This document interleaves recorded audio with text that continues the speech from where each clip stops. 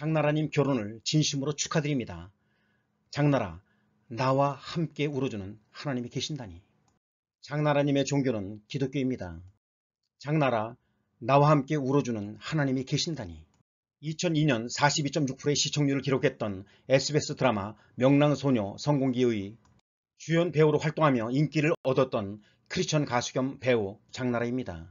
그녀는 그의 KBS MBC의 가요 대상, 대상을 수상하며 가수로서도 최고 인기를 누렸죠. 그런 장나라의 과거 간증이 여전히 회자되며 많은 은혜를 주고 있습니다. 장나라는 2001년 눈물의 얼굴을 묻는다라는 곡으로 가요계에 데뷔했고 6집까지 정규 앨범을 냈으며 2007년에서 2013년까지 중국에서 가수와 드라마에 출연하며 한류의 주역이 되기도 했죠. 한국 드라마는 명랑소녀 성공기 이후 사랑을 할 거야, 동안 미녀, 고백 부부 등에서 주연으로 활약했는데요. 2018년에는 SBS에서 수목 드라마 부문 황후의 품격으로 여자 최우상을 수상하기도 했습니다. 2019년에는 드라마 BIP에서 백화점 BIP 전담팀 차장 나정선 역으로 참여했고 드라마는 2019년 월화 드라마 최고 시청률 15.9%를 기록하며 SBS 연기 대상에서 프로 투쇼상을 수상했죠. 이때 만난 촬영 감독과 결혼까지 꼴이나게 됩니다. 가요와 연기에서 모두 대중의 사랑을 받은 만능 엔터테이너 장나라는 데뷔 후 여러 나라에서 기부와 봉사 활동을 통해 2009년 이미 약 130억 원의 기부를 한 것과 자신이 출석하고 있는 교회에서 했던 간증으로 더욱 은혜를 더해주고 있습니다. 2001년 데뷔하자마자 많은 사랑을 받으며 다양한 분야에서 종횡무진 활동했던 장나라는 데뷔와 함께 본격적인 기부도 시작됐죠. 이 모든 것들이 팬들의 사랑에 보답하자는 차원에서 시작되었다고 합니다. 이렇게 시작된 기부는 멈출 줄 몰랐고 자신도 기부에 중독됐다고 말할 정도로 많은 나눔을 펼쳤다고 합니다. 나라 안팎에서 나눔을 이어가는 그녀는 대중의 사랑을 받고 살아가는 엔터테이너로서 좀 더 행복한 사회, 아름다운 사회를 만드는 데 보탬이 되는 일이라면 힘 닿는 데까지 최선을 다해야 한다고 말했다고 합니다. 배우 장나라는 데뷔 후에 기부를 130억이 넘게 했으면서도 보이지 않게 예수님의 향기를 나타내고 있죠.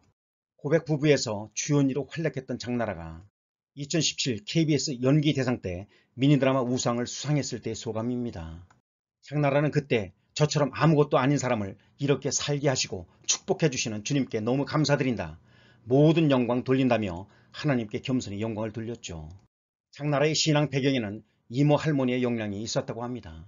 그녀는 어릴 적 부모와 이모 할머니와 함께 가난한 형편 가운데 살았었는데 이모 할머니의 신실한 믿음에 영향을 많이 받았다고 하는데요.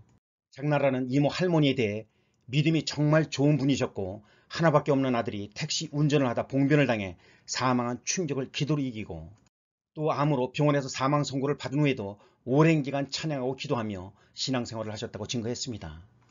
그녀는 가수라는 직업을 4살 때부터 꿈꾸었다고 하는데요. 하지만 그렇게 좋아하던 일을 하면서도 시간이 지나자 점점 회의가 들기 시작했다. 우울하고 외롭고 혼자 베개를 끌어안고 우는 날들이 많아졌다. 인기 가수, 유명 연예인, 한류스타 장나라라는 이름 앞에 화려한 수식어들은 오히려 그녀를 더 힘들고 외롭게 만들었고 마음을 터놓고 지낼 친구도 의지할 이웃도 없었기 때문이었다고 하죠.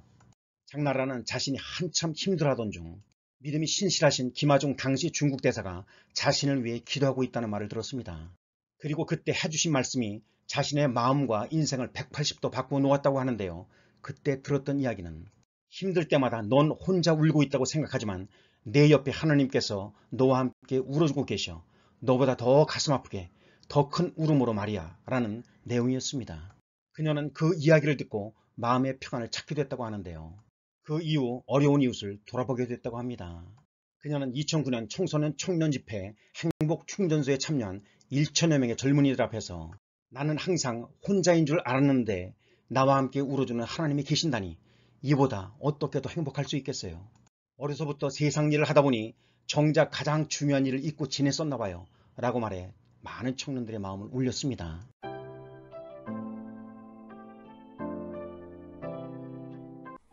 결혼이란 쉬어 남편은 화재와 같다. 진압하지 않은 채 놔두면 밖으로 나간다.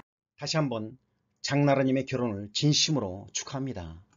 장나라 BIP가 맺어준 사랑 6세 연하 신랑은 촬영 감독 배우 겸 가수 장날의 결혼 소식이 화제인 가운데 그의 예비 신랑에도 많은 관심이 쏠리고 있습니다. 3일 복수의 방송 관계자의 말을 종합하면 장나라의 예비 신랑은 6세 연하의 촬영 감독인 것으로 확인됐죠. 두 사람은 SBS 드라마 BIP에서 만나 연인 사이로 발전한 것으로 알려졌습니다. 2020년 10월 장나라 친오빠인 탤런트 장성원 결혼식에 함께 참석했으며 지난해 초 상견례를 마쳤죠. 앞서 이날 장나라는 이달 말 비공개로 결혼식을 치른다는 소식을 전했는데요. 그는 공식 누리집 나라짱닷컴을 통해 기쁜 소식을 전해드리려 한다며 저 결혼한다고 밝혔습니다. 또한 장나라는 영상 일을 하는 6세 연하의 친구와 2년여간의 교제 끝에 서로 인생의 동반자가 되기로 약속했다며 예쁜 미소와 성실하고 선한 마음 그리고 무엇보다 자기 일에 온 마음을 다하는 진정성 넘치는 자세에 반해 인연을 맺게 됐다고 덧붙였죠. 이어 즐겁고 행복하게 잘 살겠다며 비연예인인 친구가 혹여 일터에서 나로 인해 불편함이 생기지는 않을까 하는 노파심에 자세히 말씀드리지 못하는 점 정말 송구스럽다. 너그럽게 이해해 주시기를 간곡히 부탁드린다고 당부했습니다. 그러면서 결혼식 이후 바로 재미난 작품으로 찾아뵐 예정이라 그 준비 또한 열심히 하고 있다며 전보다 더욱더 무겁게 감사하는 마음으로 모든 순간에 최선을 다하는 연기자가 되겠다고 전했죠. 이에 그의 소속사 라운문화 또한 이날 예비신랑은 6세 연하로 영상 관련 일에 종사하고 있으며 두 사람은 최근 2년여 동안 조용한 만남을 가져왔다며 지난해에 양가 어른들 사이에 상견례도 있었으며 이제 평생의 동반자가 되기로 약속했다는 공식 입장을 냈습니다. 이어 두 사람은 오늘 6월 말 양가 가족과 친지, 가까운 지인들을 모시고 조촐한 결혼식을 진행할 예정이라며 예비신랑이 비연예인인 만큼 혼란스럽지 않도록 신상에 대한 과도한 추측은 삼가해 주시길 정중히 부탁드린다고 당부를 덧붙였으며 그러면서 인생 2막을 시작하는 중요한 순간 앞에 선 장나라 배우에게 아름다운 축복을 부탁드리며 앞으로도 많은 격려와 응원으로 함께 해주시면 감사하겠다고 전하며 입장을 마무리했습니다. 한편 1981년생인 장나라는 지난 2001년 가수로 데뷔해 고백, 4월 이야기, 눈물의 얼굴을 묻는다, 스위트 드림 등의 히트곡을 발표하며 2000년대 정상의 인기를 누렸으며 또한 배우로도 활발하게 활동, 뉴 논스톱, 명랑소녀 성공기, 운명처럼 널 사랑해, 고백 부부 등에 출연한 바 있죠. 장나라는 그간 중국 드라마 대화만 공주 등의 주인공으로 나서며 현지에서도 큰 사랑을 받았습니다. 장나라 SNS에는 동료들의 축하가 이어졌는데요.